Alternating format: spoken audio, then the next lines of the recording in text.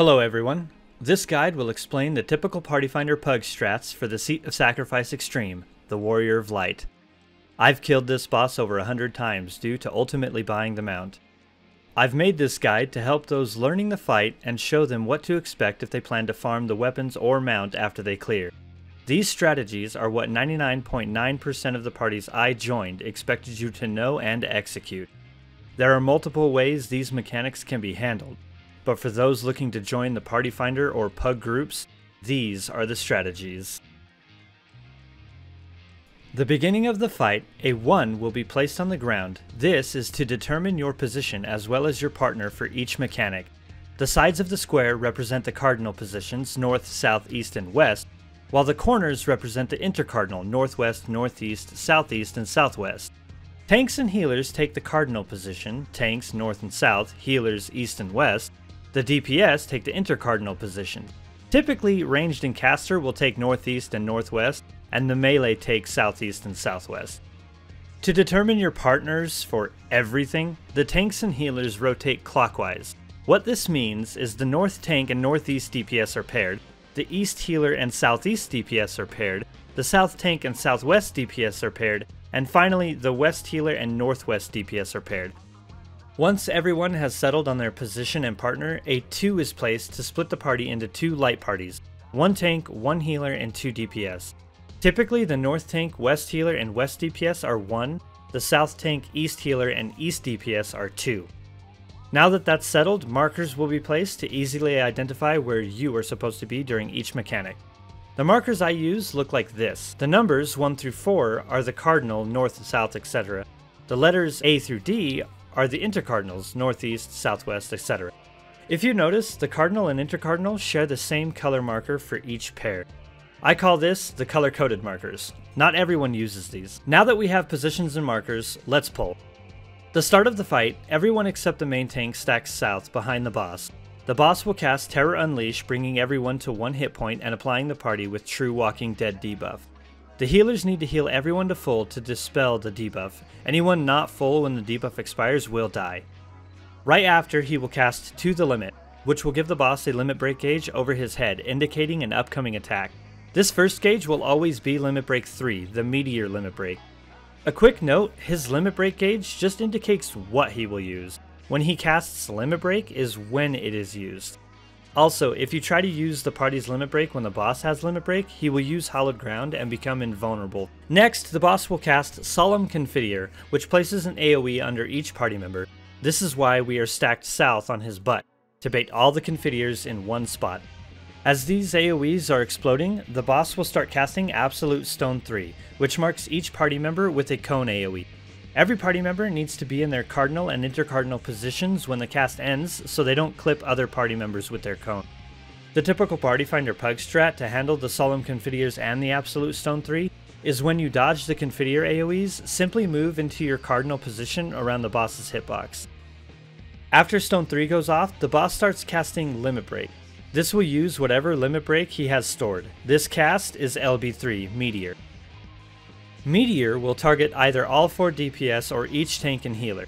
Meteor will also apply a fire resist down debuff causing the damage from two meteors to potentially be lethal. The typical party finder strat is each pair go to their assigned corner together to take a single meteor. Next, the boss will jump to the center and cast Imbued Saber, which will indicate what attacks are coming up. There are four imbuements total, Earth and Holy, and Fire and Ice. This first imbuement will always be Earth. This is followed by another imbued saber which will either be Fire or Ice. In this example, it's Ice. Next, he will cast Imbued Coruscance, which is either a point blank AoE, Get Out, or a Donut AoE, Get In. The boss's sword has an animation that will tell you which is happening. Swirls around the sword is the donut AoE, get in his hitbox. Or no swirls, which means to get out of melee range. This will also cast the two elements he just imbued his saber with, earth and ice or fire. Earth is absolute stone, so you will need to be in your cardinal positions. Ice is absolute blizzard 3, so you'll need to be moving or jumping when the cast ends to prevent being frozen in place and taking a few ticks of ice damage. Fire is Absolute Fire 3, applying a debuff that deals heavy damage when you move or take action. This includes auto attacks, so stop all movement and action for a few seconds. The typical Party Finder pug strat for this is since we already know it's going to be Earth first, everyone just goes to their cardinal and intercardinal positions for Absolute Stone 3. Once we see the second imbuement, we know it's either move or stop, and finally, we wait for the sword animation to know if we need to step into his hitbox or move out of melee range. This run, it's Earth, Ice, and no swirls, so Cardinals move around and move away from the boss. Next, the boss will cast another To the Limit, giving him a charged LB bar again. This second LB will always be LB2, Desperado. Next, he will cast Sword of Light, calling three swords to spawn to the edge of the arena. These swords will draw lines through and around the arena. Anyone caught inside the connected lines will die. There will be a single side of the arena that is safe. To identify the safe side, look for the wall that has not been drawn down and go there. While finding the safe side, the boss will cast Absolute Holy, which is a split damage AoE on a single player. It will be placed on a random party member, so once you get to the safe side, stack with them. If everyone isn't in the stack, it's not lethal. The typical party finder strat for this is what I just explained. Find and go to the safe side and stack if you can. Immediately after the lines explode, the boss starts casting Limit Break. The LB2 Desperado will target each healer with a split damage line AoE, this is where our light parties from the beginning are used. The typical party finder strat for this is party 1 stacks on the west side of the boss and party 2 stacks on the east side. Most party finder markers on the arena will actually have a 1 and a 2 placed here to quickly identify where the stack spots are. Next, the boss will cast To the Limit a third time to charge an LB1, Braver. Again, this third charge will always be LB1. Following this, the boss casts Imbued Saber twice again, followed by the Imbued Coruscance. This time, the two imbuements are the opposite of the first two. Because the first imbuement is always Earth, we know this second first imbuement is always Holy. We also know that we had Ice first, so this second cast will be Fire. Same goes for the Imbued Coruscance. It too will be the opposite. We had no swirls or out, so this time will be swirls or in. Holy is a split damage AoE on a random party member, not marked, so we need to stack to split that damage. The typical party finder strat for this is during the second cast of Imbued Saber, everyone stacks on the boss's bum in preparation for Absolute Holy. During the Imbued Coruscant's cast, everyone either ensures they are in the hitbox if there are swirls or out of melee range if no swirls. Still stacked up for Holy and either stops all action for fire or moves in a tight space for ice. This example is Holy, Fire, and Swirls, or Stack, No Action, and In. After Imbued Coruscance, the boss will cast Limit Break using his LB1, Braver. Braver targets one tank, one healer, and one DPS with a wide cone AoE. The typical party finder strat for this is to have all DPS stacked south on the boss's bump, each healer to stand on their cardinal position, and both tanks to stack north. This ensures no overlap and only one healer being hit. After LB1, the boss uses the Bitter End, a hard-hitting tank buster that targets the main tank and applies a huge physical vulnerability up debuff, requiring a tank swap. There isn't really a party finder strat for this, other than cooldown invoke slash shirk during the cast, not after, the swap itself, however, has two variants. In the majority of the Party Finder farm parties I was in, the tanks swap positions and partners. After the swap, the south tank becomes the north tank pairing with the northeast DPS from here until the next tank swap, and vice versa, the north tank is now the south tank pairing with the southwest DPS. Either way, you still rotate the same direction, clockwise. In very few parties though, I had tanks ask to keep their position and partner, the boss was still faced north, it's just the tanks had to run a little further for that Meteor LB and swap positions for Stone 3. But it's up to the tanks. After the tank swap, the boss uses Summon Wyrm. A Bahamut will spawn in the north end of the arena on either the east or west side and fly through that half of the arena. At the same time, everyone will be targeted for Solemn Confiteor, the ground AoEs. Also, a random party member will be targeted for Absolute Flash, a gaze attack originating from the targeted player that everyone needs to look away from to prevent getting a massive stack of damage down. The damage down reduces the damage you deal for a while. The typical party finder strat for this is when the boss starts casting Summon Wyrm, everyone stacks on his bum to bait the Confiteors. Once the Confiteors come out, everyone moves to the opposite side of the Bahamut. And the player with the gaze marker just runs out a little further than the rest of the party so everyone can resume DPS on the boss and automatically dodge the gaze. As the Bahamut flies through, the boss casts Eld Dragon Dive, a room-wide AoE that marks the end of Phase 1, the add phase.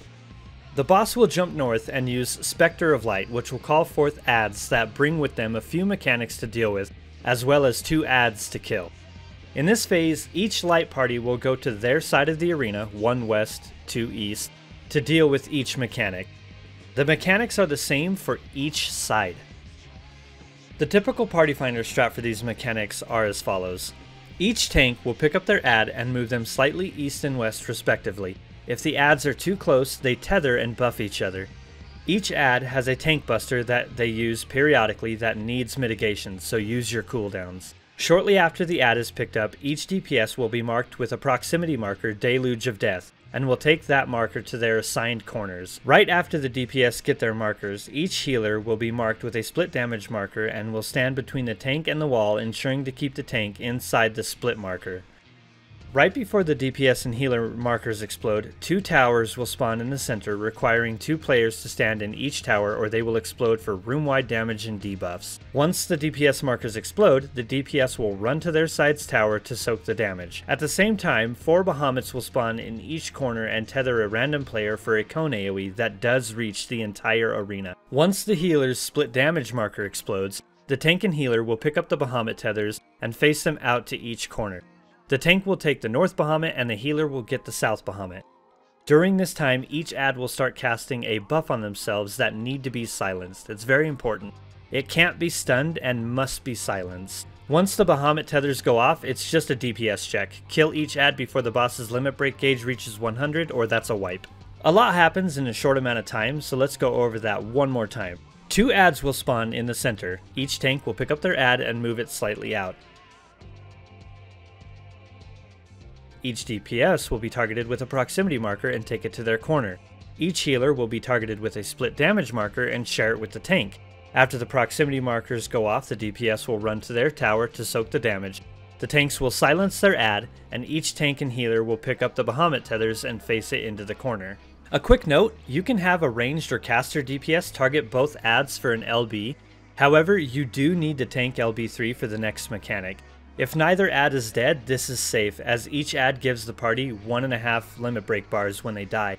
However, if one ad is already dead, you will not receive enough limit break to use the tank LB3. After the ads are dead, everyone stacks in the center for shields and heals, the boss will charge up an LB4, and use ultimate crossover. Tank LB3 is required here or you'll wipe. Be sure to also use some party-wide mitigation, cause this is heavy. Phase 2 is a series of four mechanic patterns that can happen in any order, and you may or may not kill the boss before seeing all four. So I'll show you each one and each typical Party Finder strat. First up, we have what is commonly known as the Dark Knight pattern. The boss will jump to the center and cast to the limit, charging up a random LB. Next, he will use Spectre of Light to summon a Dark Knight and Bard Spectre. Right after, the boss casts Solemn Confiteor, marking each player with a ground AoE. As the Confiteors come out, the Dark Knight targets each DPS with Brimstone Earth, a puddle AoE that grows wider over time. As the puddles get placed and expand, the Bard Spectre appears and marks one tank, one healer, and one DPS with Deluge of Death proximity markers. As each player is marked, the boss casts Absolute Holy, a split damage marker on a random player not marked by the bard. After the puddles dissolve, the Deluge of Death explode, and the Holy explodes, the boss will jump to the center and cast Limit Break, using his LB he charged up at the start of all this. Handle this as before. Shortly after, the boss will use the Bitter End Tank Buster, forcing a tank swap and ending the pattern. The typical Party Finder strat for these mechanics are the Confiteors are YOLO'd, each DPS drops their puddle in their assigned intercardinal corner. Each proximity marked player will run to the edge of the arena in between the expanding puddles. The tank will go north, the DPS will go south, and the healer will go east or west. And everyone else stacks in the center for Holy. Then handle the LB, whatever it is, like you did in Phase 1. Then the tank swap during the bitter end. Next we have what is commonly known as the Summoner pattern. The boss will jump north and cast Imbued Saber, which will either be fire or ice. Then, he will use Spectre of Light to call forth a Summoner and a Warrior Spectre. The Summoner Spectre will spawn first and summon four Bahamuts in each corner of the room.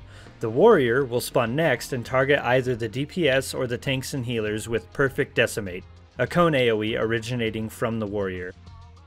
At the same time the Warrior markers come out, each Bahamut will tether a random player for a cone AoE. As these are happening, the boss is casting Solemn Confiteor under each player. These mechanics repeat but on the opposite players. The player not targeted with the warrior marker will be targeted the second time, and another round of Confiteors will be cast.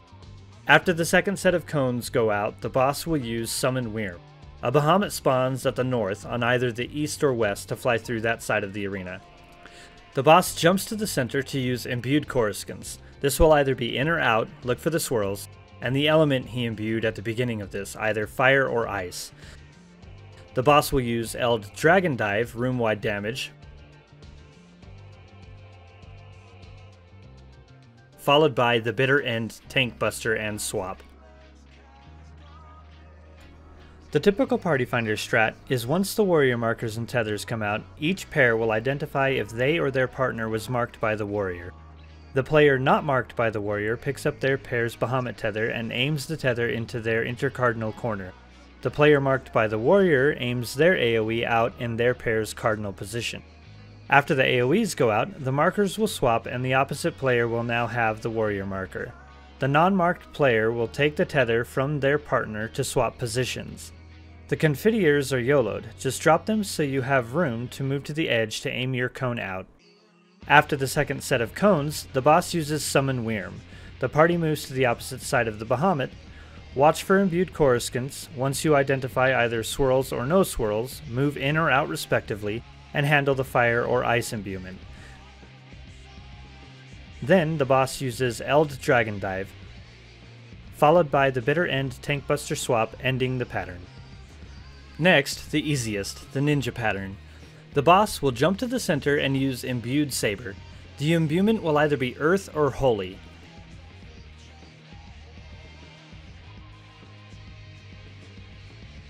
Then, the boss will use Spectre of Light to call forth a Ninja Spectre. The Ninja Spectre will use Suiton San to summon a huge water column on either the east or west side of the arena. This water column will knock players away from the side it's on when it explodes. Immediately after, the boss will use Solemn Confiteor, targeting each player. The ninja also targets all four DPS with Keitan San, split damage markers. After the knockback and split damage go off, the boss casts Imbued Coruscance. Look for the swirls and handle the element he imbued earlier, Earth or Holy.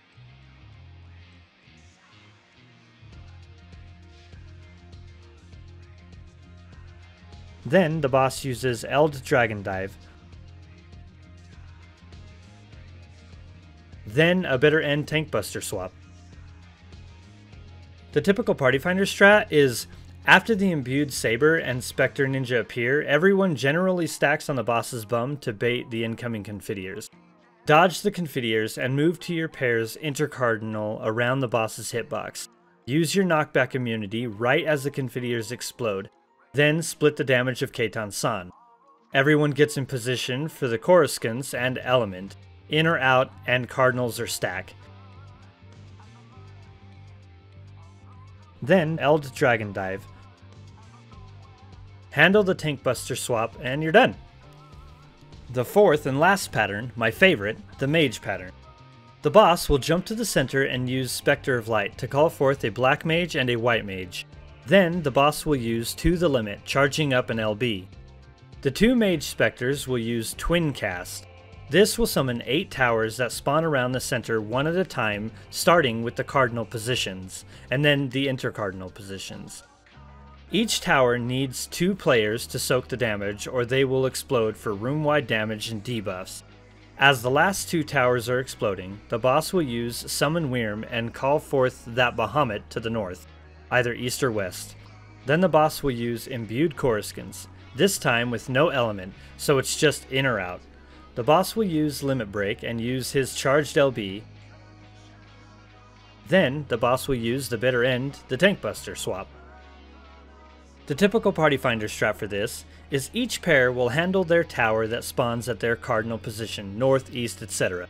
Whatever number your tower is, be it 1, 2, 3, or 4, you and your partner will handle the same number tower on the intercardinals.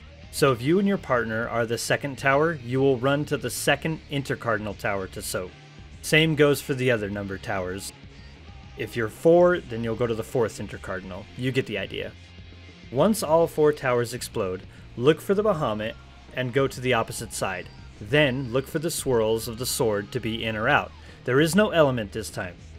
Then handle the limit break like you did in phase 1. Tank swap for the bitter end, and that's it. That's all four Spectre patterns. These patterns can happen in any order, so react accordingly. There are a few things to tell you, however. After the first pattern, the boss jumps to the center and casts Quintuple Cast, which fires all five of his elemental attacks back to back. During the cast, he will show you the order of the attacks over every player's head, with the exception of the split damage and the eye markers.